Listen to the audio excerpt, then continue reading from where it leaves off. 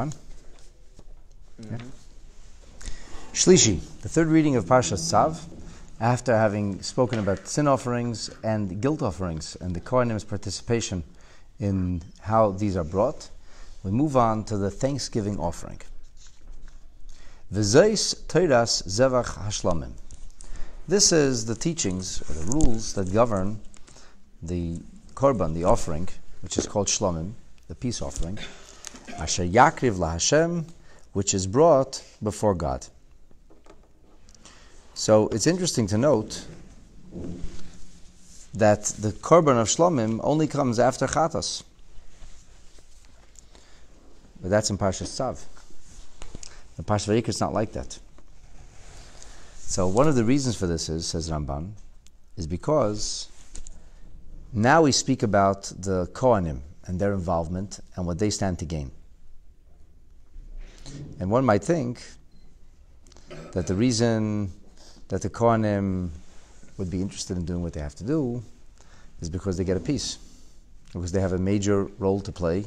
They have to eat the korban chatas. But the point that's being made here is that even with regard to ashlamim, which a person brings in order to express his thanksgiving to HaKadosh Baruch Hu, so here the Kohen is not the sole eater. Here the Kohen comes later on. And because Parshat Tzav speaks about that which goes to the Kohenim, we begin with the emphasis on the areas where the Kohen plays the dominant role. And now we move on to the Shlomim, where the Kohenim, insofar as consumption of the offering, are playing a secondary role, as we will hear, because a large part of the offering, the korban, is eaten by the person who brings the korban. Now here it says, Asher Yakriv LaHashem. To whom else would we bring an offering? And previously, it doesn't say Asher Yakriv LaHashem that you bring it close to God. It says Asher Yakriv. So why here does it say Asher Yakriv LaHashem? So the Kli Yakar says that all of the other sins they come for a reason. What's the reason for all the other offerings? Pardon me. They come for a reason, and the reason is sin, a lack, a deficiency, a shortcoming. It's something you need to make up for because you did a sin, because you did a chet. You have to bring a korban chatos. And as such, so it's not so close to Hashem because it is a little bit of a self-serving element. But the korban shlomim is not because I have an issue. The korban shlomim is because I want to come closer to Hashem. And that's why here it emphasizes zevach hashlomim asher yakriv laHashem because it's the korban shlomim that brings a person closest to Hashem, not when I do this out of obligation, out of necessity, because I did something wrong, but rather because I seek closeness to HaKadosh Baruch Hu. Whereas we'll see, there are other possibilities for a korban taida. It could not only be because I see closeness to Hashem, but in fact, it could also be because I have an opportunity and a responsibility to say thank you for a miracle that has occurred. Now, another interesting thing about the introduction of the korban shlomim is it doesn't say yakrivu. It also says yakriv as if future tense. So the Vayikra Rabbah says when Mashiach will come, all of the other korbanot will be phased out. Why would they be phased out? Exactly. No more sins, no more korban chatas, no more guilt, no more korban. We're not going to make these kind of mistakes. But one korban will remain. What korban is that? The korban shlomim. And that's why it's Madua, that's Yakriv. Lashon Asad says the, the, the Vayikra Rabbah, because even in the future, even after people finish making up for whatever they did wrong during the time of Galut, and even after all those offerings are brought, the Korban Taida is still going to remain in place. Okay, with this little preface, let's get into the meat of the offering. Or I should say, meat and bread. Im al yakrivenu. If the taida, if it's being brought as an act of thanksgiving, the hikriv al zevach then he'll bring close or offer along with this zevach, the slaughtering of the taida, chalais, matzais, belulais, bashemen, loaves of unleavened wafers or breads, and these will be kneaded in oil. Rekike matzah, wafers of matzah, which are meshuchim bashemen, which are glazed in oil. Visoiles, mirubeches, and dough that is scalded, which are also chalais, also loaves. And these are belulais bashemen. These will also be kneaded in oil. So we have three kinds of bread. in addition to these three kinds of bread, which we'll soon find out requires 10 loaves apiece, al chalas lechem chometz, there's another 10 loaves, and this is chometz, which yakriv karbonai al zevach toidas shlomov, that he'll bring together with his korban, which is brought as an act of thanksgiving. So we got a lot of bread. 40 loaves. Is it possible to have a challah that's not chametz? Is it possible to have a challah that's not chametz? You're stuck in your image of a challah of today. A challah simply means a loaf, piece of bread. It means water and flour. It's kneaded together, and then it's baked. You could bake it before it has a chance to rise, or after it has a chance to rise. Matzah does not have to look round and flat. That's what Passover matzah looks like. Matzah could come in various forms. The point is that once the flour and water are mixed together, so the flour has an agent called Amy B. Lacey, or Amy D. Lacey, and what happens is, Amy C. What happens is when the flour gets mixed with water, or alkaline really, anything which is alkaline based, what happens is it triggers a chemical reaction. The chemical reaction begins to, to rise. That's what happens.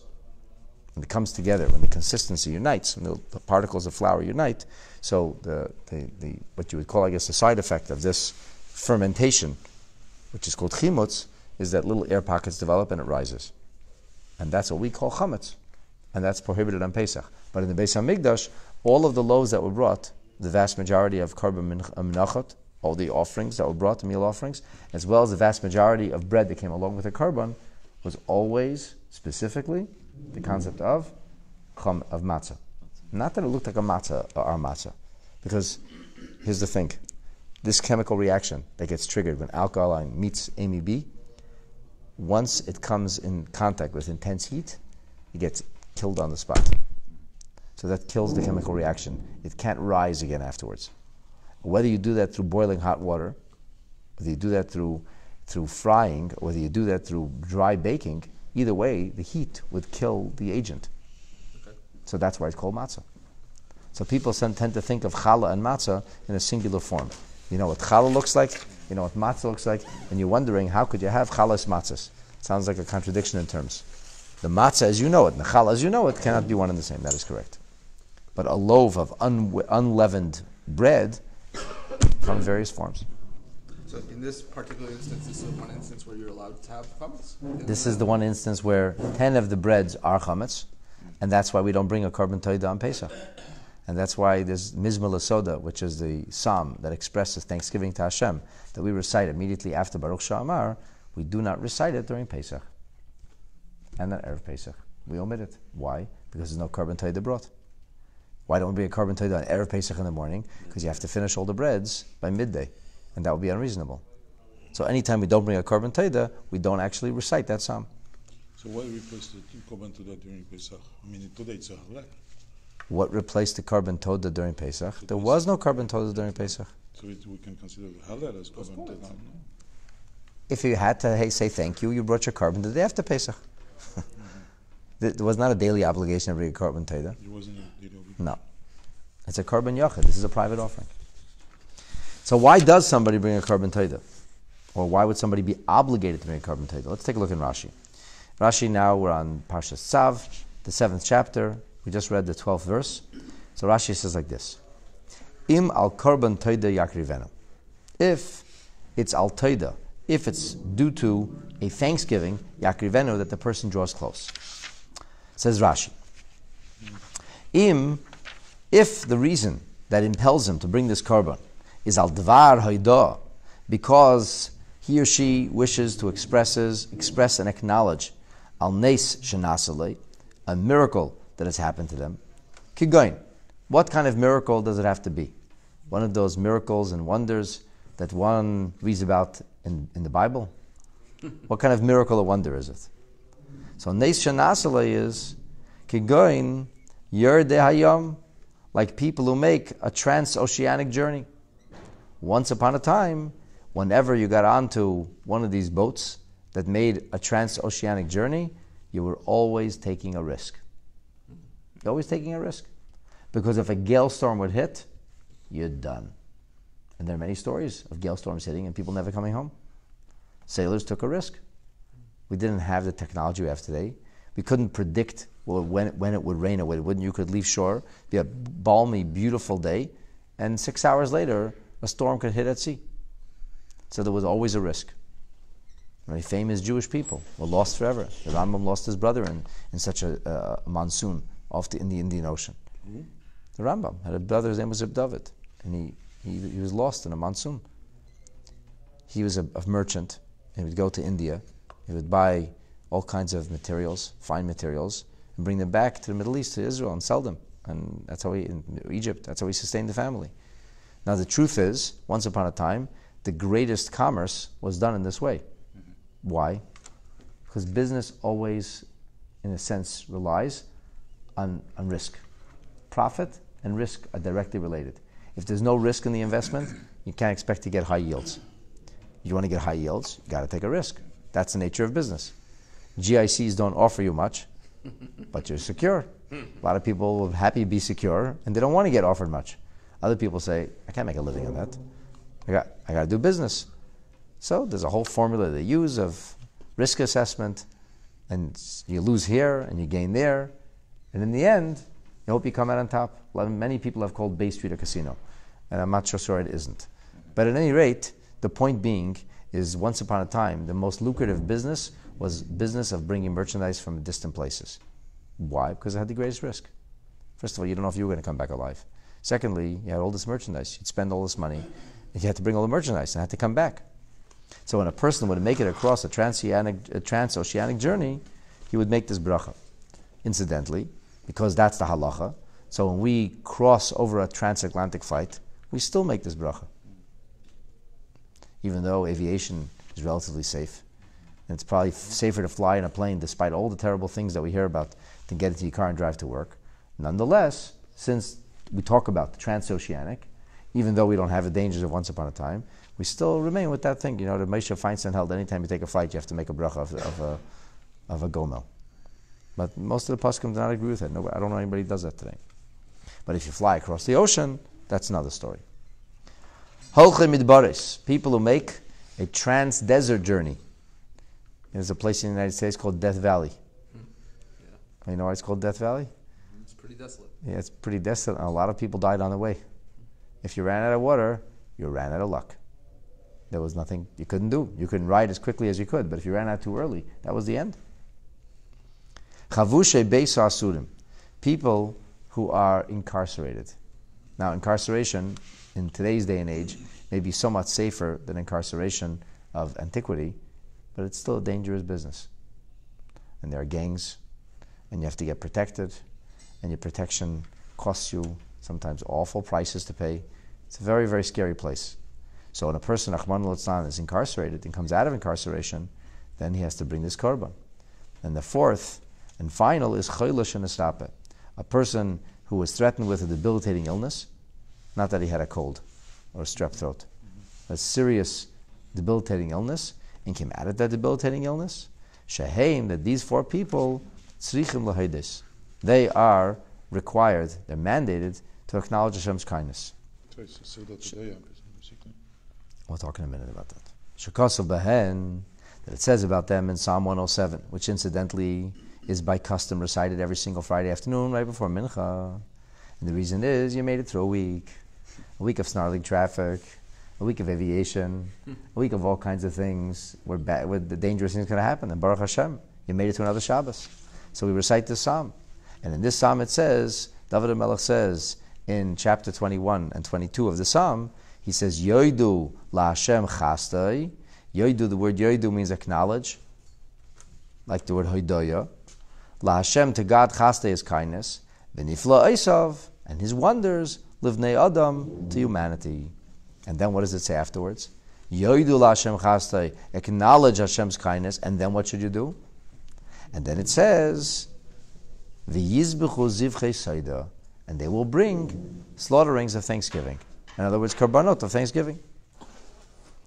So we learn from this pasuk, by the way, two things. It says, Yoidu la Hashem chaste livnei Adam, the Yizbuch Chesed, we, we see there's a responsibility for us to acknowledge Hashem kindness. We have to say thank you. That's very important to point out. It's first and foremost. And after the notion that we have to say thank you, that we're morally impelled, if you will, or menschlichkeit impelled, however you want to call it. But we have a, an obligation, a Torah obligation, to say thank you. So after we have this obligation to say thank you, we, we do it by means of a korban. But it's it's it's um, Rashi doesn't bring this down here, but that's done in a public fashion.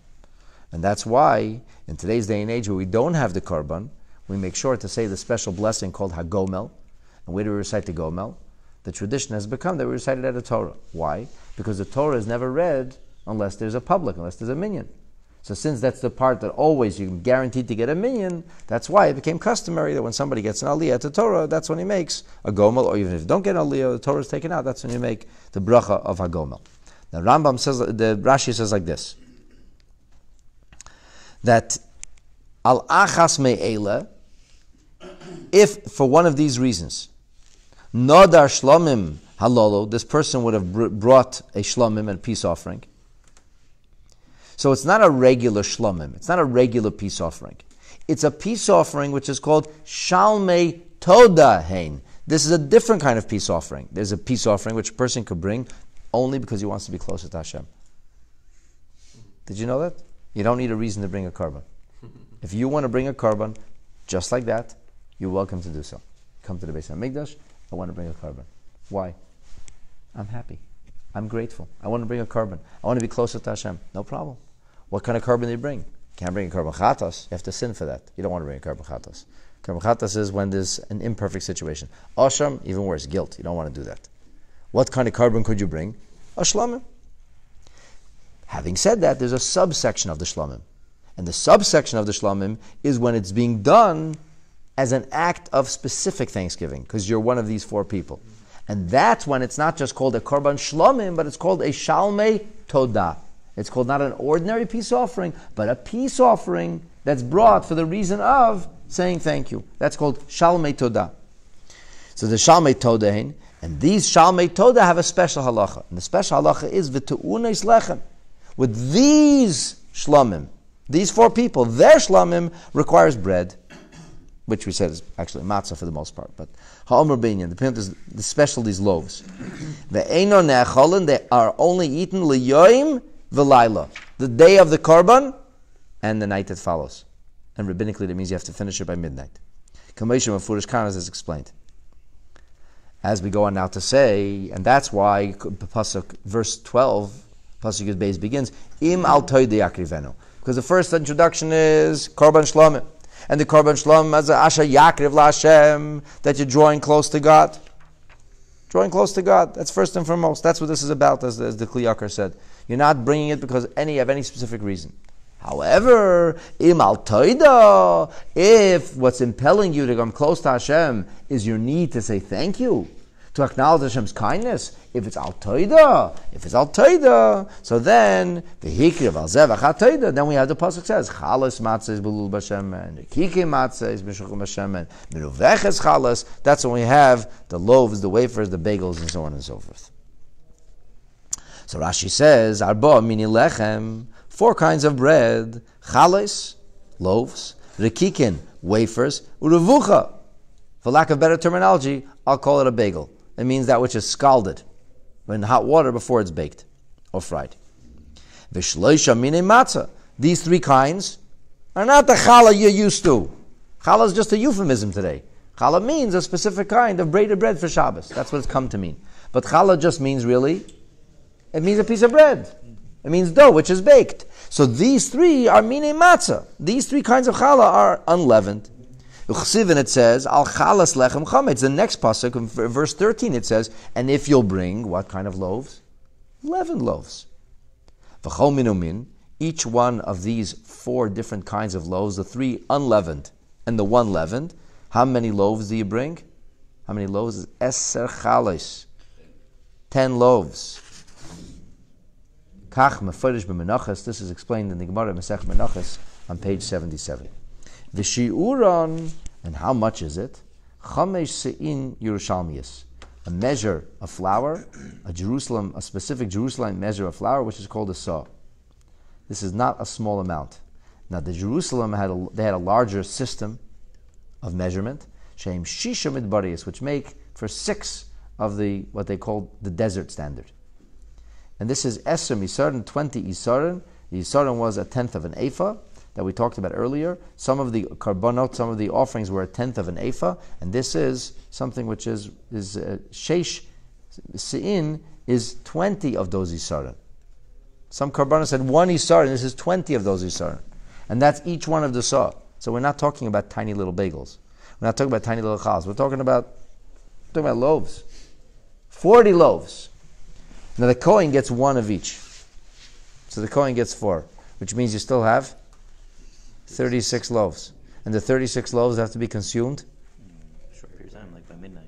like by midnight, like the day of the korban and the evening that follows. And you have to, besides consuming 36 loaves of bread, you also have to consume a whole animal. No? Sounds like one of those uh, eating contests. So how could that be?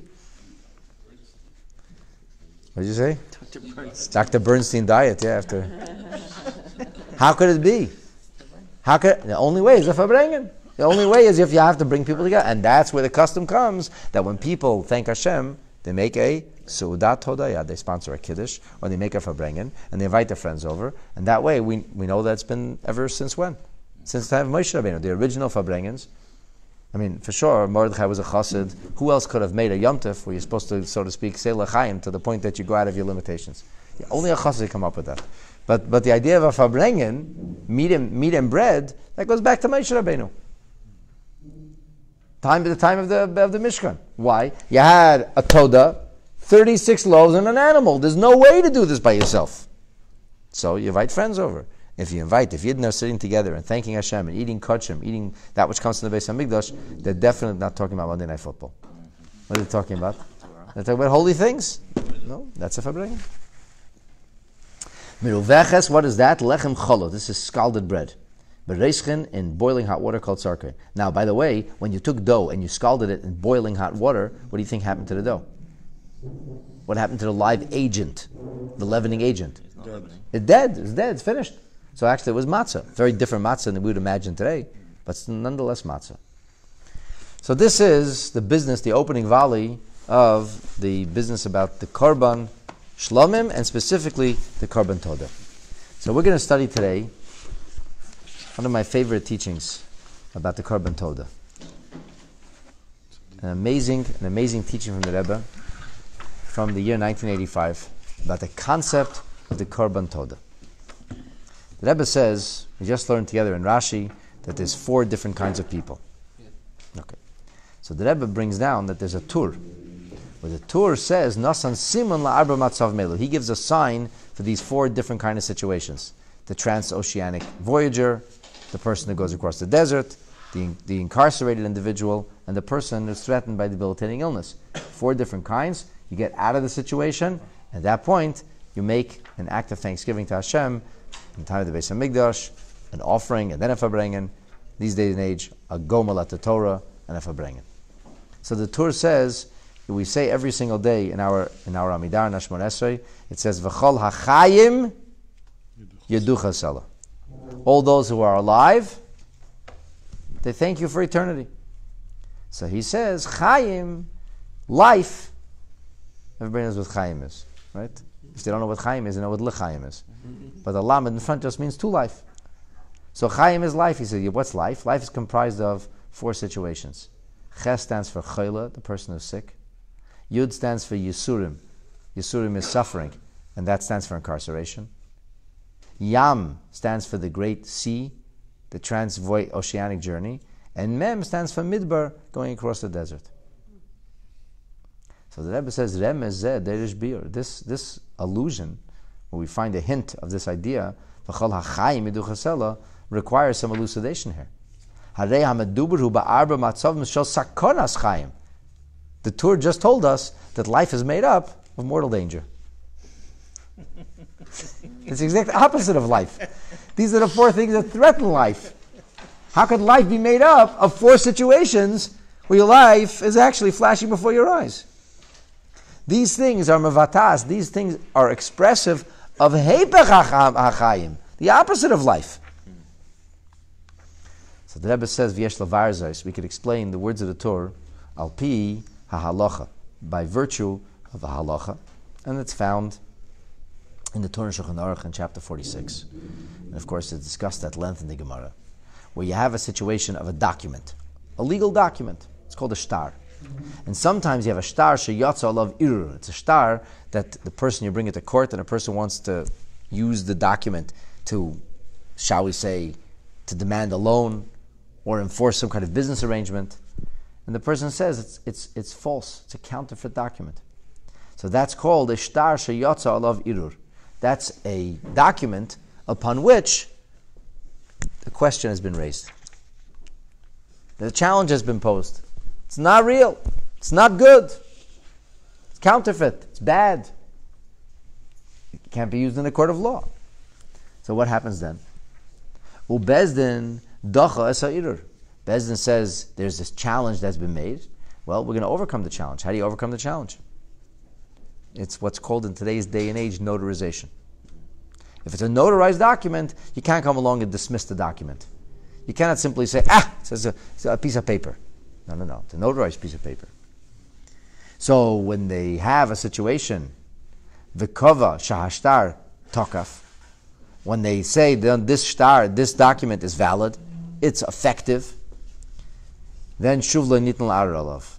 So if somebody brought an aspersion, cast an aspersion on a legal document, and then the legal document was subsequently notarized, afterwards you cannot cast aspersion again. We, you know, we, we did this already. The aspersion was cast, you threw shade, we brought sunlight, there's no questions now. So once you have what's called a notarization, a birur, once we have clarity, then the ability to weaken the document is taken away. So ask yourself the question as a result of the shade thrown on the document, what happened to the document? It became a weaker document or a stronger document? Stronger. Stronger, because before it was susceptible to an attack. You could, you could delegitimize it. But once you've already answered the delegitimization, then there's nothing to talk about. That question's been answered already. So too, the Rebbe says we get export the halacha from the laws of documentation and import the halacha into the law of thanksgiving. When a person finds himself in a situation of danger, where you don't know, life is insecure. And after being fearful for one's life, you're safe in this situation. This situation does not diminish life. This situation enhances life. You appreciate life differently. Why? Because people take things for granted. We live in the age of entitlement. Everything expects, people expect everything. It's coming my way. Who says? Who says? People don't appreciate so much of what they have. They don't appreciate their eyesight, they don't appreciate their hearing, they don't appreciate their coordination, they don't appreciate their digestion, they don't appreciate a lot of things. And what happens, Rahman al a person who was threatened with the ability to lose one of those things, and then he got it back? Oh, you don't take anything for granted anymore. This is not just life. Oh, life happens. This is life that was tried and tested. This is life in which there was shade thrown and aspersion cast. This is the life in which you came out of sakonis and kshiyim, a life you came out of danger and you came out of difficulty. You managed to get through them. You managed to overpower those situations. You transcended them. So therefore, life is appreciated differently. As that famous saying, which is a cliche, but still true, if it doesn't kill you, it'll make you stronger. So, ein masim yeser, there can be no more suitable way to express life rather than the term chayim. Chayim is an acronym. As a remez la'arba matzav melo to this kind of situation. Matzavim situations, shamna ma'avim sakana betchila, situations that comprise great danger at first. The point here is not that life is made up of the situations that threaten life. The point here is that life is appreciated when you come out of those situations after being in the situation and transcending that situation. is talk from shochayim. They enhance, they elevate, they strengthen, they undergird, and they deepen our appreciation of life itself. May we all live appreciatively. May we not be threatened with anything. And may we merit, merit Hashem, to bring the Korban Taida in the third Beis Hamikdash, B'mheira, will be amazing. Amen.